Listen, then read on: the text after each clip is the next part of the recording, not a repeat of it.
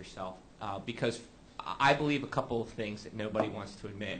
I I still think the majority of theft of this type of data is not from computer type losses. I don't know if I'm the only one who believes that or not, but I still think that the majority of these types of theft is inside jobs.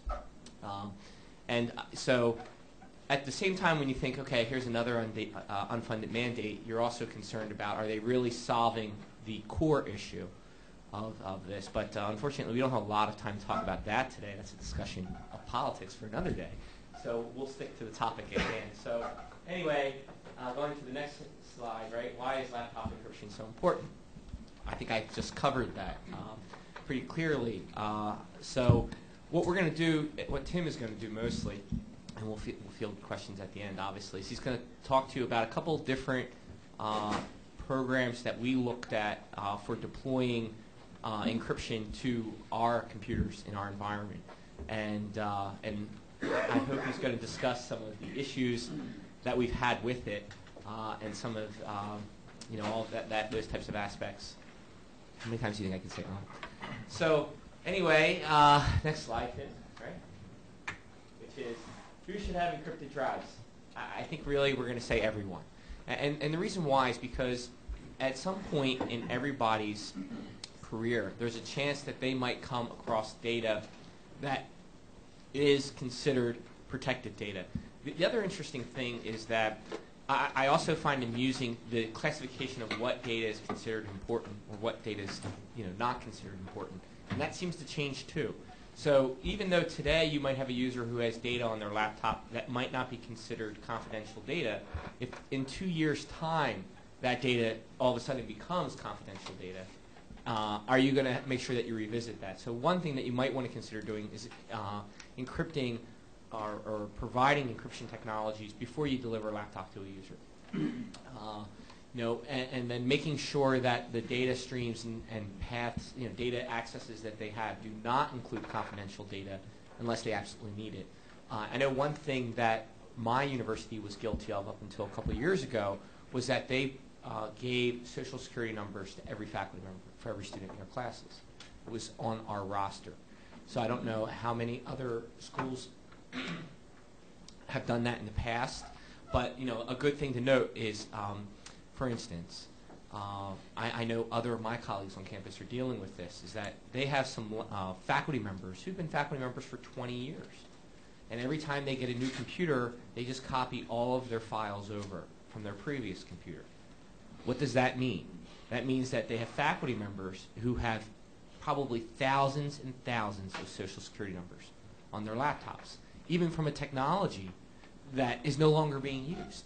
So you can't just say, oh, only the deans need it, only the clinical staff need it, because there's a good chance that faculty have old files. I mean, we have faculty members who have files with 1992 dates, 1993 dates, uh, and everything else. I'm sure you do too. Uh, so, you know, obviously, you, you really need to look at everybody, not just high-profile individuals. Uh, and you know, the, the other honest answer is somebody was telling me before we came in here that they recently had someone who had a laptop stolen. I, I mean, the honest answer again, like I said before, is that the person stealing that laptop was probably not stealing that laptop to get social security numbers. They were stealing that laptop to take to the local pawn shop, you know, to turn around and sell. You know, there's this great fear that you know people are stealing laptops and everything, but I don't think that that is the main issue. So, um, but of course, nobody wants to lose a laptop and have confidential data on it, and then have to go public, start contacting people and everything else. Quick question, um, does Rutgers have any policies on what data can be stored where, um, and you define confidential data in a Oh, policy? uh, yes, absolutely, of course. But as we all know, that doesn't mean really that much of anything, because uh, you know who's going to determine? Uh, you know, d- does anyone here scan all of their user files on their their personal laptops, their personally owned computers? You determine if they have social security numbers on it. We will be. You will be. Yeah. So you, you'll say on not on a university-owned system or law school-owned system. You're going to go and say, bring in your home computer. On student systems? No, no. No. Oh, are, are you referring to personally owned computers Sure. that are owned at home by faculty and Yes. staff? we. There's no way you we can do tell- that. No, we're not. I mean, but, well, listen, I mean, we can't control them in terms of if they want to take some PII home, they're going to do that. Exactly. But it's against saying- university policy, so. Right, it's yeah. obviously against university policy, you know, but, but the question is, when was it against university policy? No, no, seriously. Yeah. You know, I mean, that's what I, I was hoping to. Yeah. illustrate, is that you, you have a lot of people who have files that are, are decades old, that, uh, you know, they might not even, and, and the important thing is that I, I'm not trying to say they're willfully doing this. What I'm trying to say is that there's a pretty good chance that they have no idea.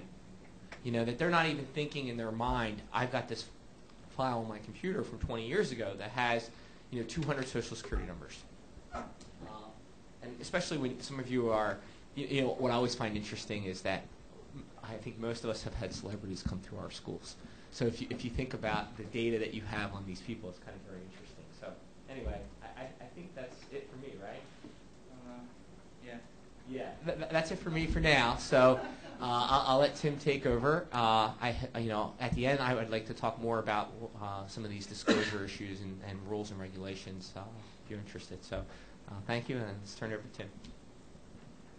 Hi, everyone. Uh, my name is Tim. I also obviously work at Rutgers Law School in Camden. Um, just, just to give you an example of how committed we are to the uh, encrypting our laptops, our dean has an encrypted laptop. Um, and that's very interesting because his encrypted laptop died, and we had to, on the dean's laptop, test all these wonderful emergency decryption processes and all these kind of wonderful things. Um, so I really have a lot of experience with, with uh, both of these programs. Um, we wanted to uh, give you, uh, you know, a few examples of the, of the programs. There's, there's hundreds of, of uh, paid encryption softwares out there that you could purchase anywhere from 20 or 30 dollars a pop to a couple thousand for, you know, your organization. But, uh, you know, we kind of have open source as kind of a theme for our our, uh, our group. So you know, we just picked the two free ones. Um, they both are, are very good, and they have their own little um, you know distinctions. So I'm going to uh, illustrate them each. Um, so both of them, uh, the two that we're talking about, CompuSec and uh, TrueCrypt's full hard drive encryption, uh, are, are both free. Uh, you can download them.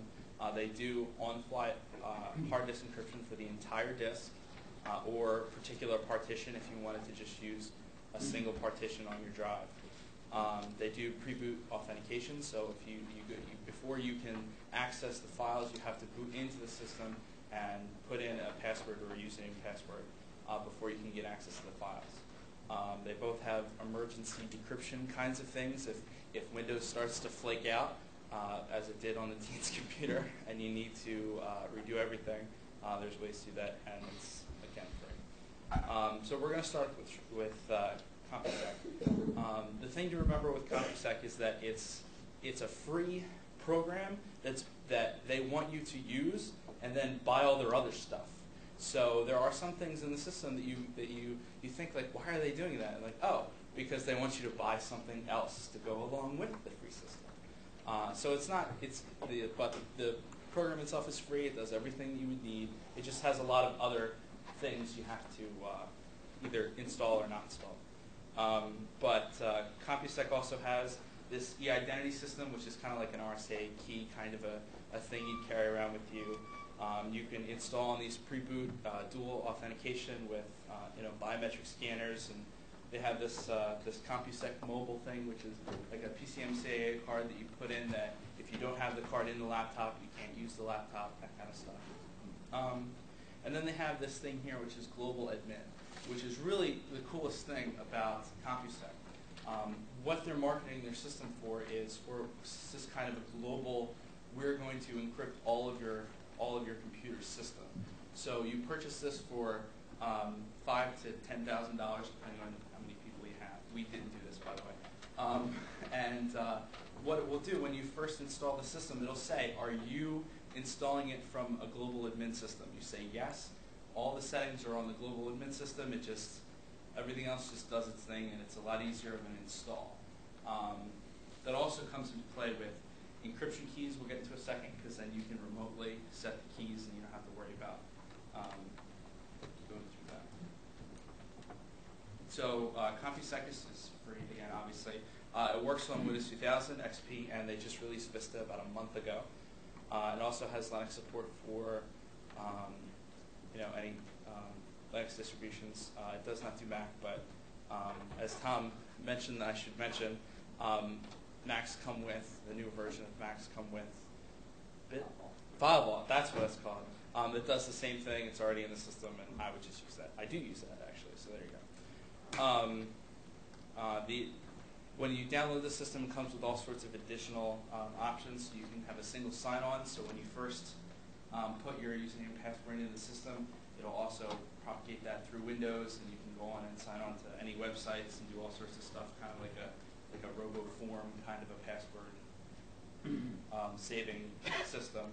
Um, it also does uh, encryption of CDs. So if you are running a global admin, or you do what we do, which is share the different keys between all the laptops um, you can actually burn an encrypted CD, take that, put it in another computer that has CompuSec installed, and it'll read it. But if you don't have CompuSec installed, it's just nonsense. Uh, and floppies and USB keys and all kind of stuff. Um, you can encrypt single files if you want to send just a specific file, encrypt it and send it to somebody through email. Um, it has the safe LAN feature uh, where you can set it up so if you have a network storage um, you know, mounted drive that you want to go and, you know, if you use that on your network, uh, then you can use CompuSec encrypt everything on the network. Um, and it has this VoIP uh, encryption software. If you're running some kind of uh, VoIP setup on your computer, it'll encrypt it, but I really with that. Um, so what type of encryption? We have no idea. Uh, even though CompuSec is free, it's wholeheartedly closed source. So you do have to trust that they're encrypting it well. But um, you know, I haven't heard any complaints. I did a lot of research on the company. I, you know, I haven't heard anyone say, "Oh my God, it's so easy to break the laptop encryption." Um, but you know, you never know. And there is some chance later on down the line you go with the system and you know some flaw happens. You have to quickly upgrade all your systems and all that kind of stuff.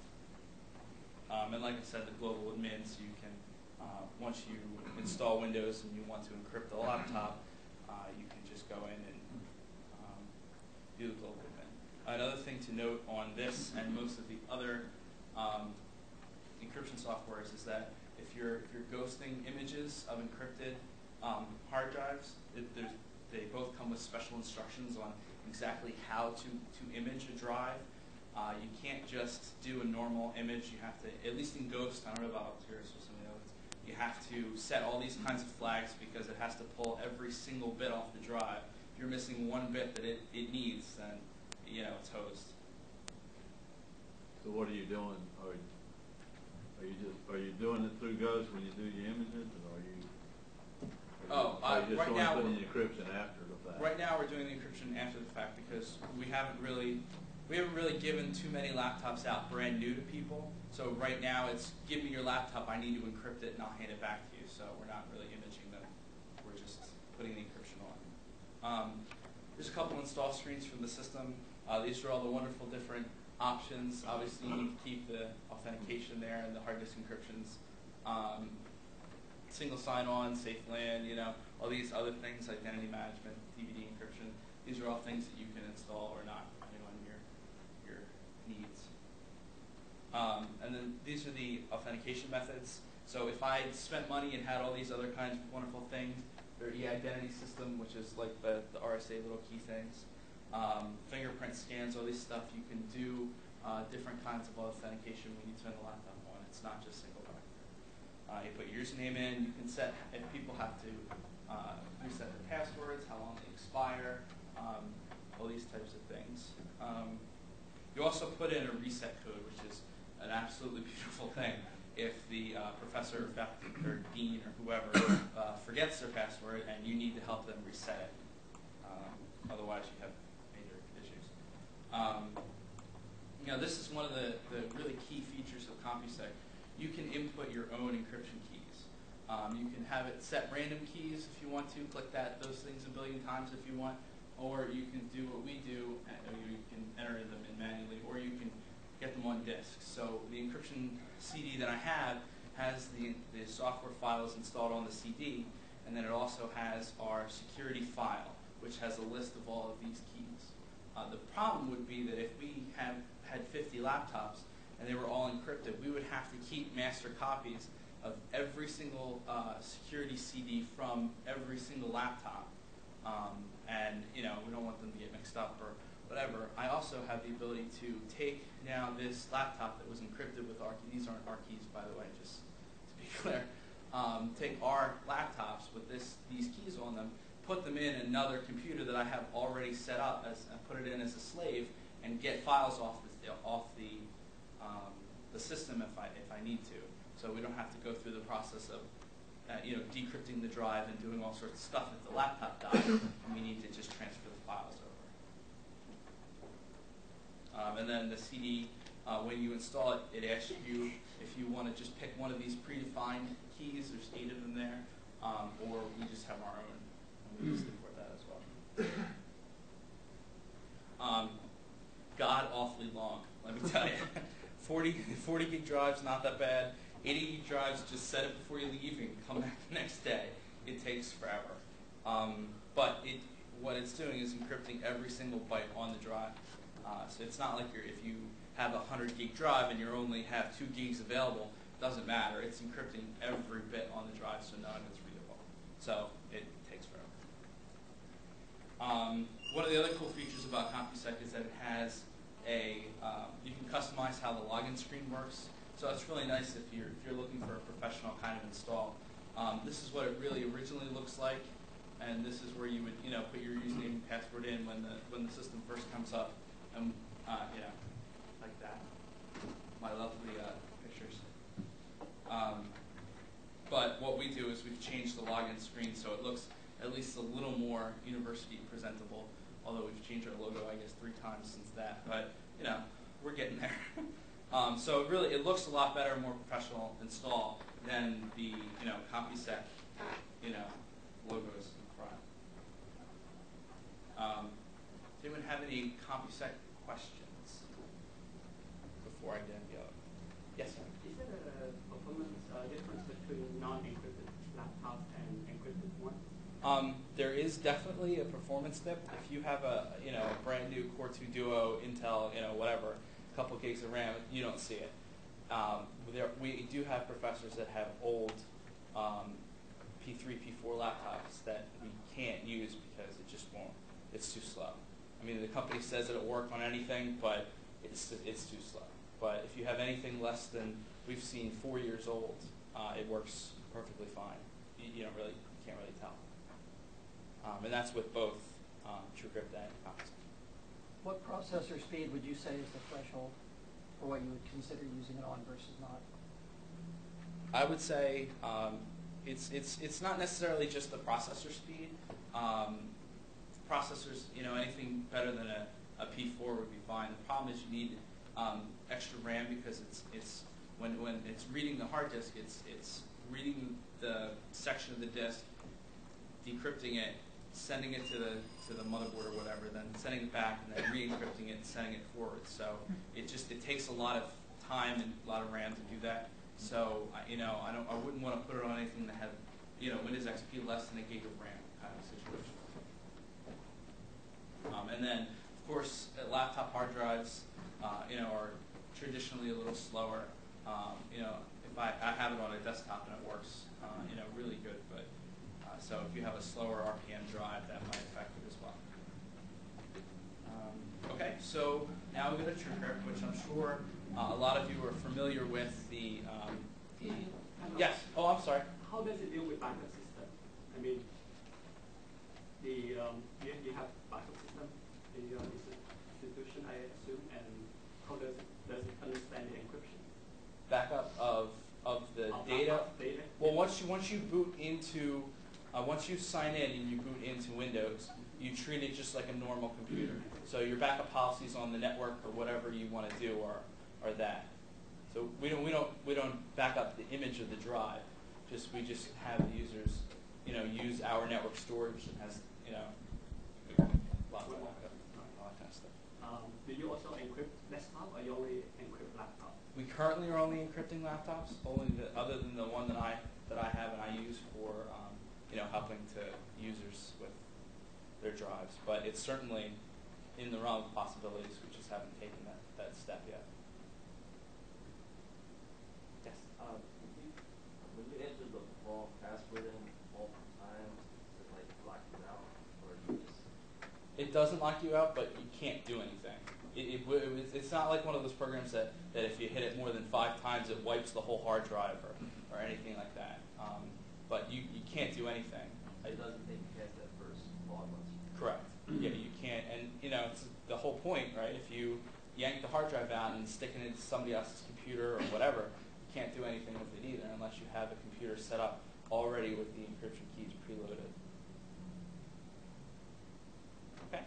Um, so TrueCrypt, um, a lot of people in, in the industry use it for um, encrypting files and things.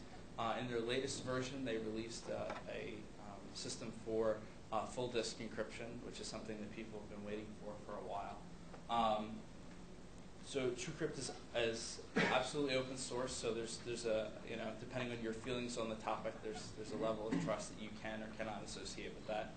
Um, but you know all of the documentation, it's very inten- uh, intensive documentation. So you can certainly look up how it works, why it works, all that fun stuff.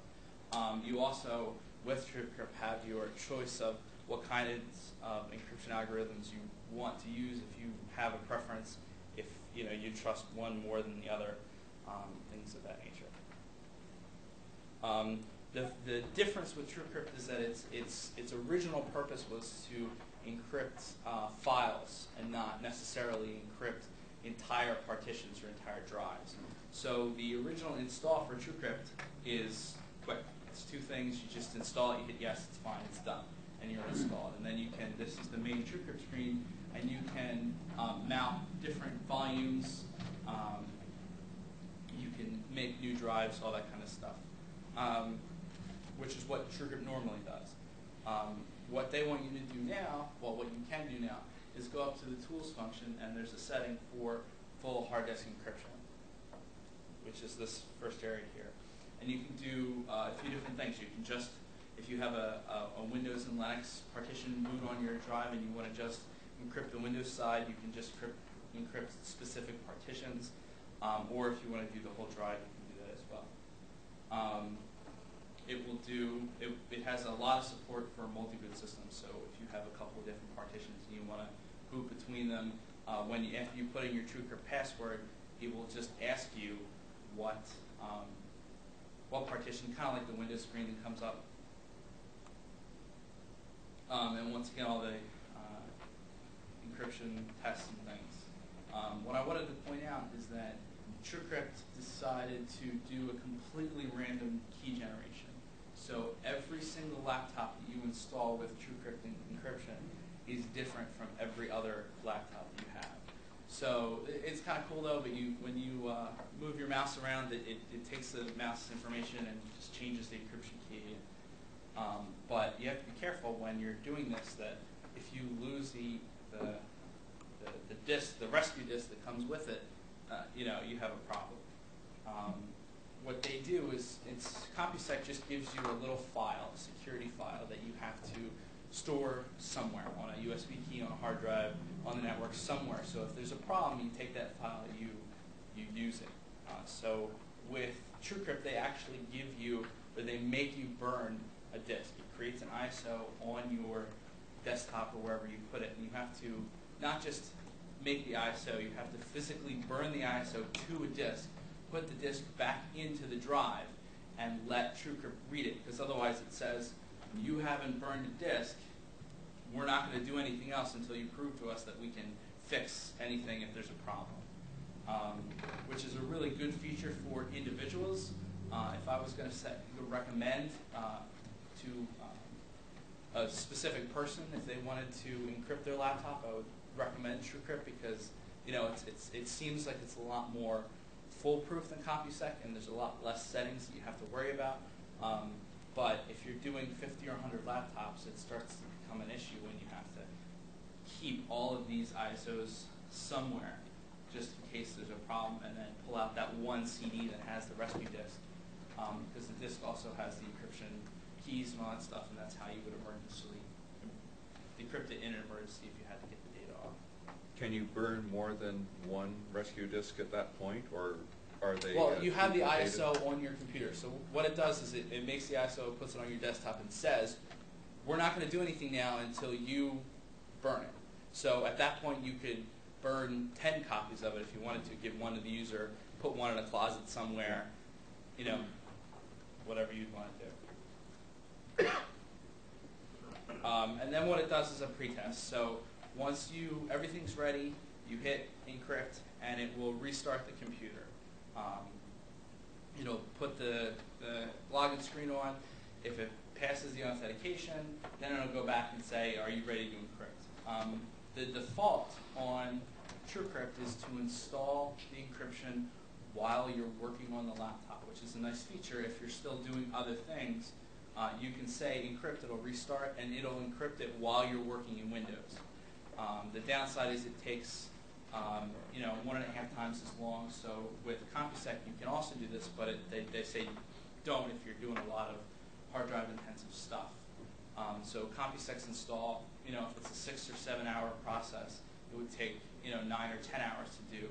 Um, most hopefully none of us work 10 hour days. So, you know, just, I, I recommend just doing it right before you leave and it's ready the next day.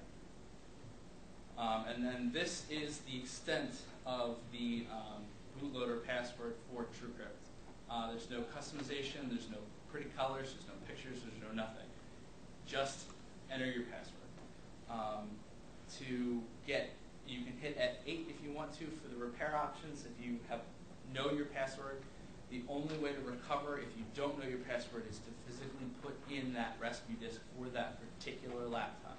And I've tried even um, you know, trying other disks or whatever, it doesn't work. You have to have that because it has the encryption key in it. So if you don't have that disk, you can't do anything. Um, I've also tried to do a search on the disk to see if I could like find the encryption key or anything like that. I can't. It's it's it's somewhere in there crazy. Um, so that's it's nice that it's not you know the disk isn't just laying out there with the encryption in it. Um, but once you put that disk in that particular hard drive, uh, then you decrypt it you know, on the spot, or you know, they have other repair options. Um, so the difference is really with with CompuSec and TrueCrypt. Uh, is really good with in, with uh, installing different keys, or the same key with multiple laptops, uh, so that your environment is really kind of set together, and you don't have to worry about oh this person has this key, this person has this key, um, and it's a lot easier to administer the same systems at once. Um, but you do have to deal with all the additional crap that they put on the computer, uh, or at least make sure you don't install it when it comes up. Um, and they, they have all sorts of things for encrypting CDs, encrypting media, and things. Um, TrueCrypt, you know, is, is open source, so uh, you know we consider that a high level of trust. Um, we think it's better for a lot of single user, you know, one-off installs. If we have a specific person that we wanted to do, I would also recommend TrueCrypt over CompuSec for someone that I wasn't, you know, directly supporting. If someone came up to me and said, "Oh, I want to encrypt my laptop. What would you recommend?" Um, but I don't really think that it's it's ready for, um, you know, a, a, business environment yet. Uh, but you know, they just this is the first release of the full disk encryption, so you know, certainly down the line, if they they could certainly add to that. Um, and then I have a whole bunch of time on purpose for questions and for Tom to continue talking. So about the specifics of the of the of the software, does anyone have any questions? Uh, removable disk encryption is an extra cost item for the CompuSec? Removable? Oh no, it's uh, the all of the features that I showed you back on the slide with all the different options are all included in the free CompuSec. So it has the the safe LAN the, for uh, you know network encryption. It has uh, removable LAN storage for for CDs or floppies or USB keys. Um, that's uh, zip disks. So that's all included in the software. And to be fair, you can certainly do that with um, TrueCrypt as well. It's just not as as seamless. You have to actually, uh, you know, construct a, a image file with TrueCrypt and then place that on a CD key or a, like a USB key. But for CompuSec, once you put the key in, it'll ask you if you want to encrypt it if there's nothing on it, Um, you just say yes, and then every time you plug in and in and out, it's already it already senses that it's an encrypted drive, and you can just read it. Uh, so it's a little easier, but you know, they both can do it. Yes. Have you ever had any trouble with it, like crashing the drives and if it, like, because we have, uh, we, we use a product called PointSec, and if we have a drive that's kind of iffy, drive gets hosed. have you guys had any troubles with that at all, or? Um, well, that's actually what happened with the dean's laptop. We had to get him a new hard drive. Uh, so it did decrypt the drive enough for us to get the data off. Um, we did use another um, software package called SpinRite. I don't know if anyone's heard of that, which basically uh, goes through. It's like sixty dollars or something for a license, and it'll go through it and uh, look at every single one and zero on the hard drive and make sure everything's okay first. So I ran that, and it kind of cleaned up the drive enough so we could get the data off of it. It decrypted it, and then the second it did, I you know I got everything off, and it worked fine. But you know, I was crossing my fingers the whole time, so I did not want to be the one that screwed the dean's laptop up. yes, sir. If if you're using the computer for things like video editing or anything like that, and you have huge files, would it cause any problems? in Uh, well, the the the um, software encrypts the entire drive, so it wouldn't necessarily be a problem with the volume of the amount. Uh, you may have an issue, uh, a performance issue that you would notice if you're, you know, rendering a video. That's what I was thinking. Yeah, um, I'm sure you, I didn't get that far into into performance because uh, we don't really have anyone that does that. Um, but I, I, I guarantee you, you'd have a, a performance hit. How bad of a hit it is, I, I couldn't tell you. I don't think it would be that bad if you have a you know a newer uh, Intel, you know, Core Duo processor, a couple gigs of RAM, you should have a problem. Yes. Um, how do how do the machine? I mean, how do the programs encrypt new files to the computer? Uh, is there a way for the user to tell the program when to encrypt? Is there a scheduling function? Well, with both of them, they're encrypting the entire hard drive. So every bit that comes in and out of the hard drive is encrypted. So if you create a new file on the hard drive, it's already encrypted at that point. And that's that's good not only for the files that you're creating, but all sorts of stuff on the drive that you are not that don't know get created, temporary files and things that Windows just puts up there.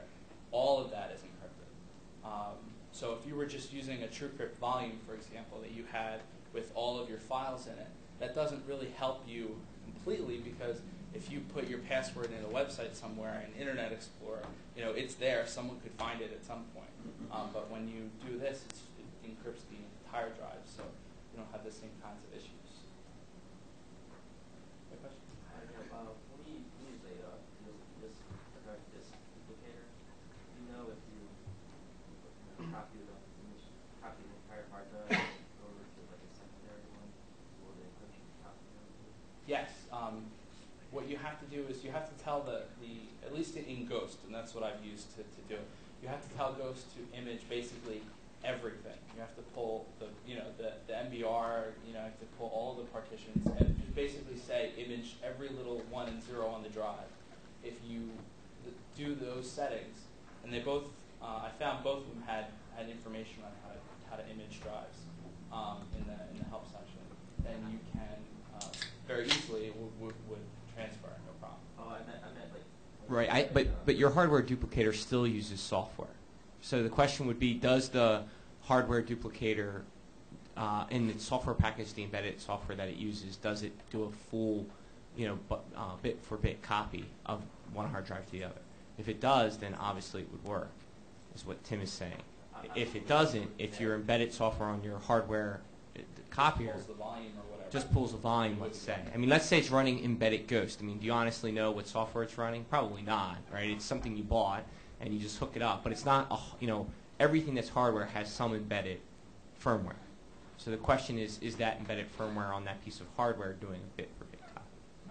Maybe, we have to clone the drive to create encryption and then, then encrypt it after it's I, if I was making a hardware duplicator, you know, that people would consider software irrelevant, right?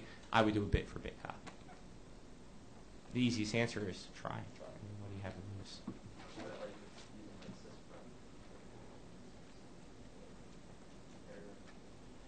I don't know what that is. SysPrep, right? You have to ask her.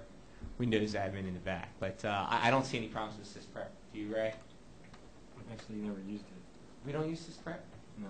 Oh, okay. I don't know. No, uh, I, I can't imagine. Yes. You ever have any trouble with any other USB devices or anything? 'Cause we, in ours, once in a while, if you, if you have them on, plugged in on boot up, like cameras, it won't boot because it's trying to encrypt the camera. Have, just have you had any troubles with any USB devices? No. Have I we ever I- gotten a complaint from a user? No, I've never had someone that, that came to us and say, you know, it's not working, and you know, um, we I know that uh, one of our professors that has it does all sorts of stuff with cameras. She's got a, a phone that she plugs in all the time, all that stuff. So you know, she's never come to me and said she had a problem. So I know that her kids use our laptop all the time for stuff, and you know that hasn't done anything either. So I haven't had any problems. Yes, sir. Yeah, uh, have you ever used it in conjunction with any file synchronization software? Uh, no, But it's important to note that the encryption becomes invisible to the operating system once you do the boot.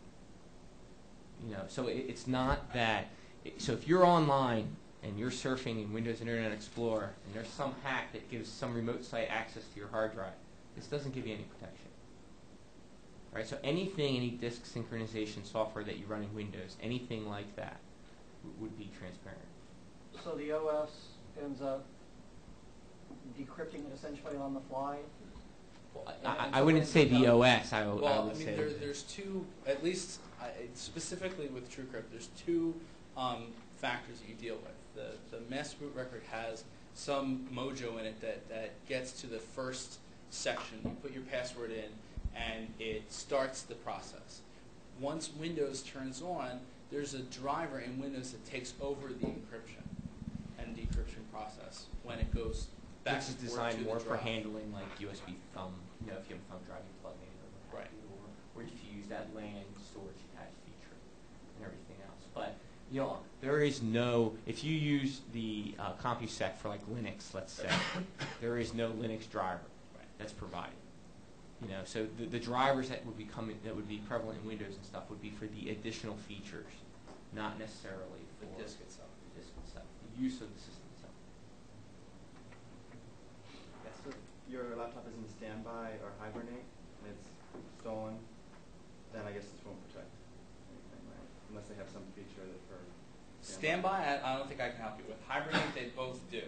So if you put the, the computer in hibernate and then try to yank the drive out and, and read it, you wouldn't be able to. Um, when you turn it back on, it hits the pre-boot authentication before it, it spins Windows back up. But if, if it's in standby, I guess you're just out of luck. But, but then you, you have to realize too that you, you know most people nowadays have passwords on their system. So even if you put it in standby, unless you you know configured your computer to not use a password, which can't imagine. You know, I'm sure there are people who do that, and they're probably not the ones who care about this encryption software. Right. Uh, but you know, you turn it back on. If a thief was to get your laptop and turn it back on and see that there was a password, you know, I mean, what are the odds? I mean, are they going to get out their compressed air and freeze your RAM chip and, and take it out and, and try to get your password and everything else? And, and no, you know. And even if they did that, they wouldn't recover.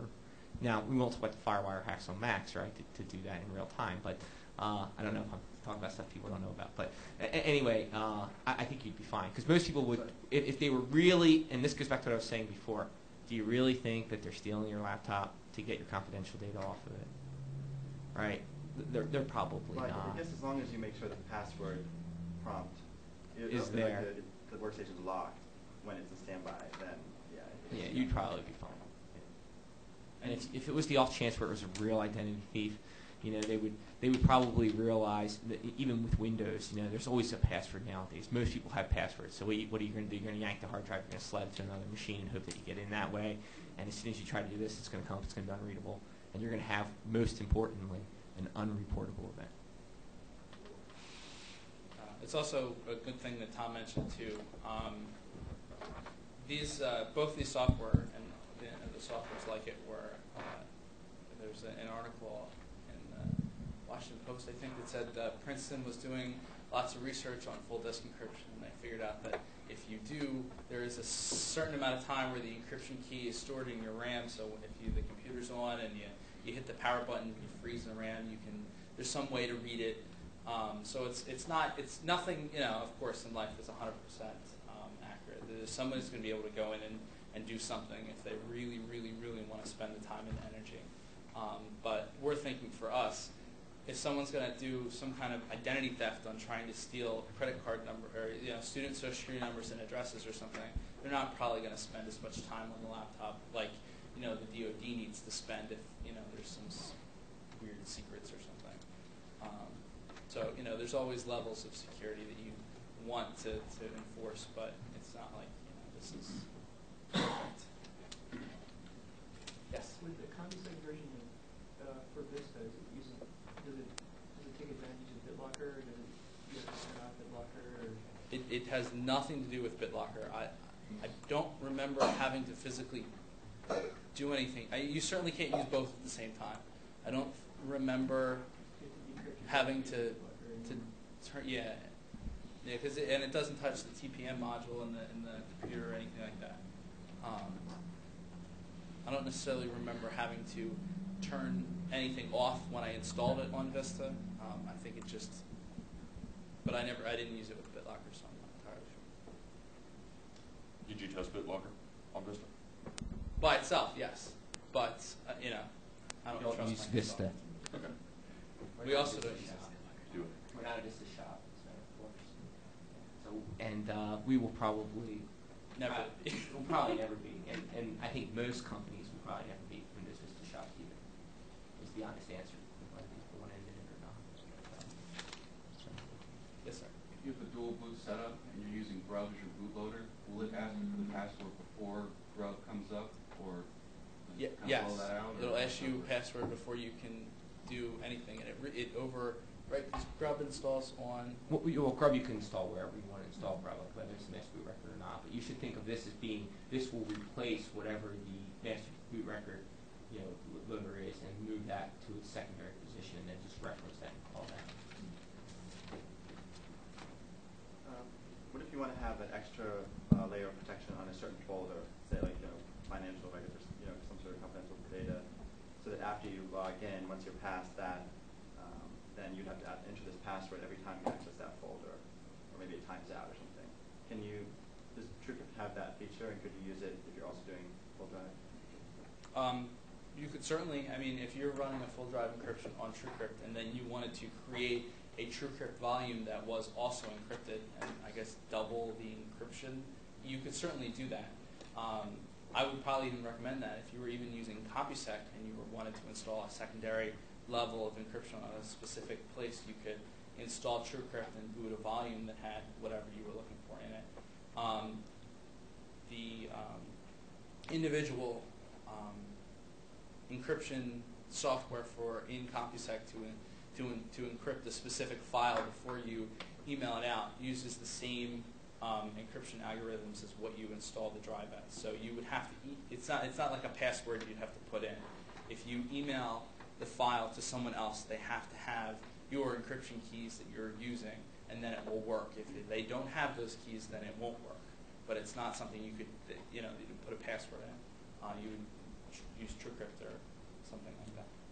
Do you? Do Your you have idea that would be, or- we do not. I mean, th- th- that would be targeting more, I, I would think, theft uh, by, you know, either, let's say you're trying to protect the file from somebody else, like an admin. Let's say you're like, well, you know, my admin's got my password to my whole system, but I want to keep something private. Or if you were on the internet and you were using Internet Explorer, or Safari, or, or, or, anything that was on there that would then be scanning your hard drive, looking for those types of things. Um, I, I, I- I'm not entirely convinced of the utility of doing that because I think that uh, spyware that would be resident on your system that is written today is not is going to like be the type that's going to continuously scan your hard drive. So once you decrypt that system, if, you know, let's say if I was writing this spyware, right, the way I would do it would would would use you know human like you're going to decrypt that file at some point. If I have my spyware that's on your system and you haven't detected it, I'm going to get it. It's only a matter of time, right? If you unless you never use it, and if you never use it, it's probably not that important. But but here's the thing: Do you honestly believe that there's a lot of people out there doing that, right? I mean, what do you think that spyware on your machine is doing? Do you think it's really looking for your your confidential data, or do you think it's sending spam? I mean, I mean, let, us the honest answer here, right, is that you know you, you have to do this risk analysis with everything, right? I mean, when you buy auto insurance, you do a risk analysis, right? When, when everything has to be this risk analysis that you have to do because can't become nobody is. I mean, if we all say, "Wow." The, the, academic environment is so much different than the corporate environment, right? Like uh, we, we don't use firewalls, or we just started using firewalls, or we don't block all these ports, but corporations do. And then you go inside a corporate a corporate network and they pass everything in clear text, right? You know, or, or, or something. So there's all these these things that everybody does things a little bit different. Everybody has their policies for doing it a little bit differently. Um, you know, my personal pet peeve is: Has anyone here ever heard of a reportable loss of data from Visa or Mastercard themselves? Anybody? But you hear it all the time, right? Have you? Yeah, I think uh, I can't remember which. I think it was Chase or it was. No, no, no, not no, no, no, not Chase, not that. Actually, Visa themselves, Visa or Mastercard themselves. Has anybody ever heard a reportable event from them? Anybody? Now, let me ask you the question: Do you think it doesn't happen, or do you think that these two companies have some exclusion to the law that they don't have to report? I mean, it, you have to ask yourself these questions, right? That how does identity theft occur, right? If you read about it all the time, like you hear about TJ Maxx losing a million people's customer records, right? Have you ever heard about one of their records being compromised? Any of those records? Do you think there's somebody somewhere who's like, you know, massing all of this data, right? I, I mean, I, I, have to tell you an interesting story. Uh, a couple years ago, uh, my wife's uh, Mac card uh, gets billed like $600 in vitamins, right? So I go to the bank and I'm like, you know, obviously this is not the charge. And they're like, well, you know, it wasn't us. It was, you know, your wife's card must have been compromised somewhere. She must have used it somewhere. And, you know, we, you know, it must have been like a waiter took it or, or somebody took this or somebody did this. And I said, well, okay.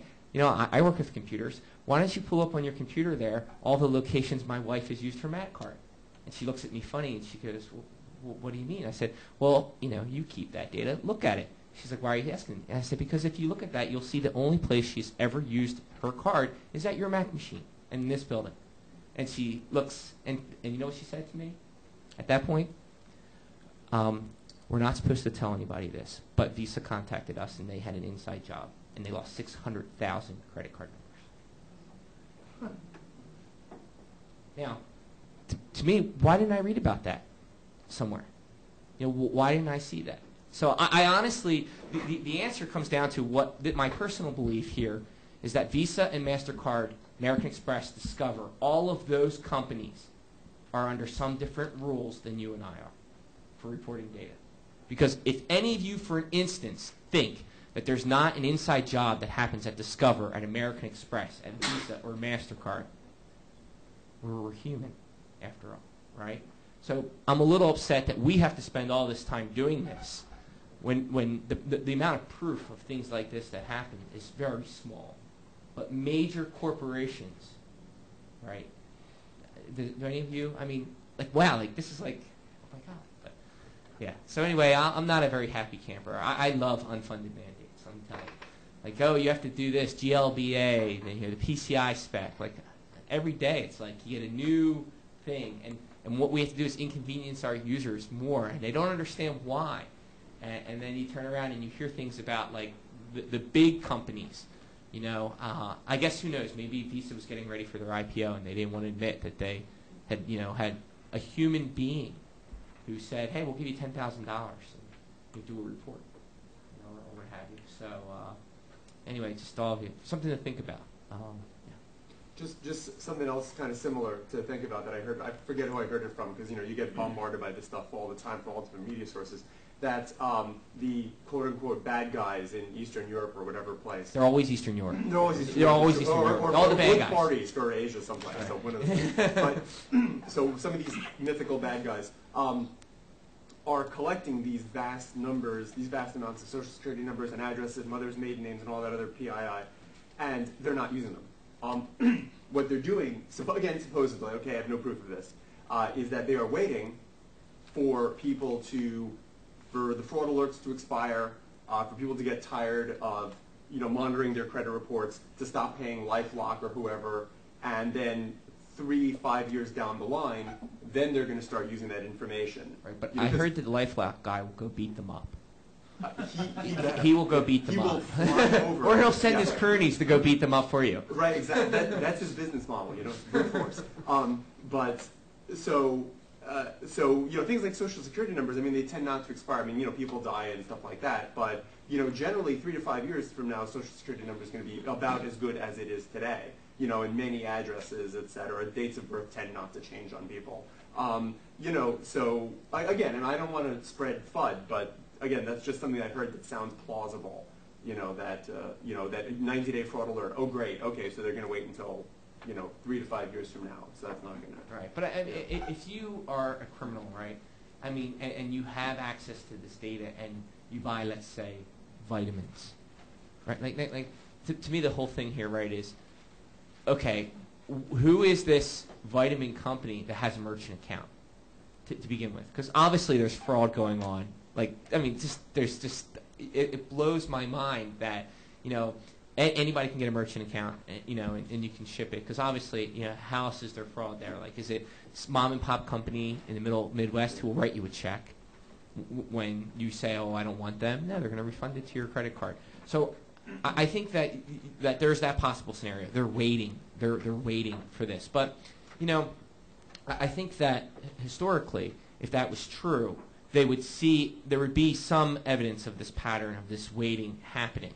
And I, I don't really think it's about creating identities. Like suddenly you no longer live here, you live in, you know, Nigeria, right? I mean, obviously there's going to be a fraud alert there. I, I think what the honest answer is what these people are doing is they're using stolen credit cards numbers, you know, and, and they're using them right away to continue to live their, their lifestyle, you know, or they're, you know, doing whatever they want. They're, they're prohibiting online gaming right overseas because of this massive fraud. But the honest answer, of course, is that the Las Vegas and Atlantic City and everybody else are upset that there's, you know, and so they're and and then there's now these international trade issues and everything else with online gambling. Uh, so I, I think there's there's more to it. Where, where can I find the federal regulations or the laws that you're, that you're saying that you have to comply with? Uh, well, th- there's uh, th- there's the PCI security standard, right? Does everybody know what that is? It's like a payment processing, like it's uh, if you deal with credit cards at all in any way, you have. Campus does, but we don't. You're right. Does anyone here, if you deal with credit cards, you have to complete it. I, I would say, just from our experience, just ask general counsel where you are, because they're the ones who always come down with the stuff on us. Right, and then you have like the, the uh, uh, yeah, it depends. Like uh, some schools have to, uh, what you have the Graham Lucky, Gramm-Leach, Yeah. yeah, HIPAA. you know, H- HIPAA. You have the PCI stuff if you take credit cards. Uh, I my my opinion is is that uh, if you are in a responsible area and you fall to that type of stuff, then you would have to, you would be aware of it, especially the PCI of credit card data, what have you. There, the, the paperwork gets more complex, you know, every year. You know, I, I- I've been doing it for years now, and it's like here, it's a half-page form, it's a two-page form, it's a six-page form, it's a twenty-page form. It's like, you know, What I, what I do have is a clinic server with clients' social security numbers on it that is not sitting, that's just sitting out there. right? Probably that would be GLBA for the most part. Say what? GLBA, the Graham, Yeah, Graham yeah, thing that you would be, that you would have to look at for that. And what are you doing about students who are accessing, who are using that data? I mean, are you, Oh, we don't have any students. yeah. Right, we don't have any students. Uh, well, you know, eh, eh, the the interesting dilemma, the interesting dilemma, right, is that you, you face a couple different aspects of it. Like especially us, right, is you have these students who have their personal own laptops who want to be working on these case files, and so it's like trying to tell our clinical director, you know, you have to make sure They, they really shouldn't be using their laptops. The data should remain here on the clinic computers that we provide that have our uh, you know network security and everything else involved in them. But again, like I said with everything else, is we are human. You, you know, so I, I think that how you save yourself in that respect is by just having a policy. You know, if, if you have a, a printed policy, you know, in terms of now, granted, would it be a reportable event, right? Like, who wants to be the one that a student has copied files to their uh, personal laptop, client files, and then loses their laptop? Their laptop is stolen. W- What are you going to do if they graduate from law school and four years later they've never cleaned off their laptop hard drive? Their laptop is stolen. We don't even know about that. You know, no one's going to tell us. You know, so what become? How do we enforce that? How do we police that? We, we honestly we don't, right? You, you can't. So w- what you need to do is, is you need to have a policy, and, and hope that that you know that that's. I mean, or, or we come to this environment where we're like, we're going to turn off USBs, we're not going to have floppy drives, you know, we're going to disable all this stuff, we're going to make it impossible. We're not going to give you access to email on these computers. You're going to be able to work on this file, but you're not going to be able to send this file anywhere. It's going to be stuck here. Any other questions? Tim, what's up? Well, thank you very much. Hope you uh, found it fun.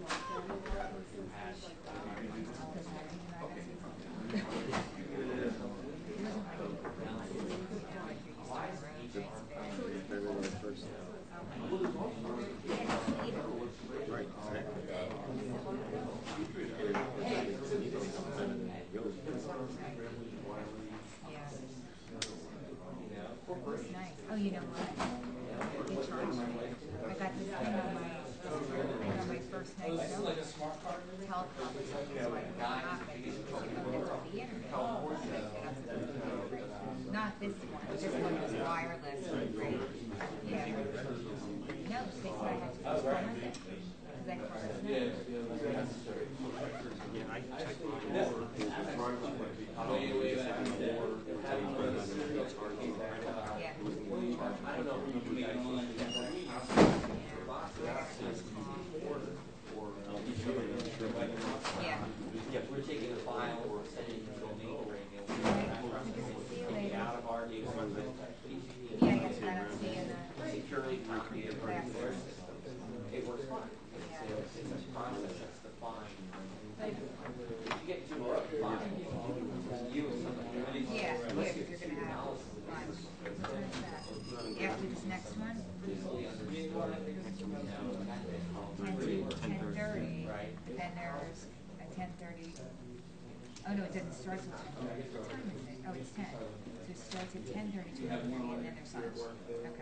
Right. Ten years ago, it all now. Breakfast was very nice. Well, but, but no, no, no, I mean, that was back. It's on no different than you. But that's no different than if you were using an IMAX server now, right? Because you're using an IMAX server now. Well, no, no, but I mean, if you were using, if you were using